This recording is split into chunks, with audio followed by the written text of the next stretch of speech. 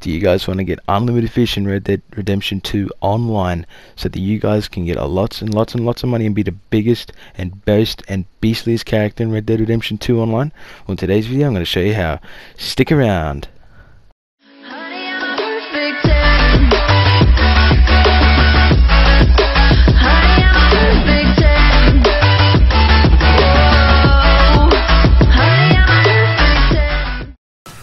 Ladies and gentlemen, boys and girls, it's your boy, the Chuckster070, and welcome back to another video on my YouTube channel. I'm showing you guys how to get unlimited fish in Red Dead Redemption 2 online. Now, all you guys need to do for this video is just make sure you hit the like button and subscribe with post notifications turned on, because I really hope I can get to 100 subs. But with all that out of the way, guys, let's just get into today's video. All you need to do is have a deer, skin it, and put it right next to shoreline, exactly like I've done here.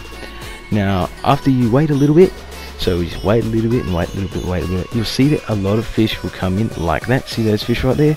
They come in and they want a little nibbling of the deer over there. And since you position it right on the shoreline, you will actually, the fish will come up to it and they'll die from suffocation from the oxygen. And you just walk over to it like this and you can just pick it up. See? And then you keep on doing it and keep on doing it and keep on doing it and you'll have unlimited fish. Now, a lot of these fish do sell for nearly 50 cents to a dollar each, depending on the big size. I think these little ones here, the red pickerel, I think these ones here sell for 50 cents, and the bluegills and all that sell for a dollar.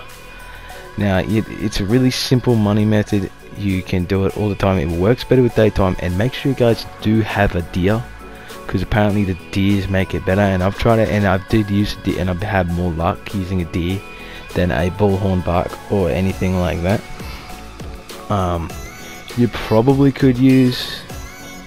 Uh, actually, no, you couldn't use an elk because they're pretty big. But um, anything you can fit on your horse. If you guys find out any more animals that can actually work like this, like anything besides deers and stuff, then please let me go. Please let me know down in the comment section, so uh, we can always help out the community again if it does come around. But this is basically the best money method at the moment, besides duplicating gems.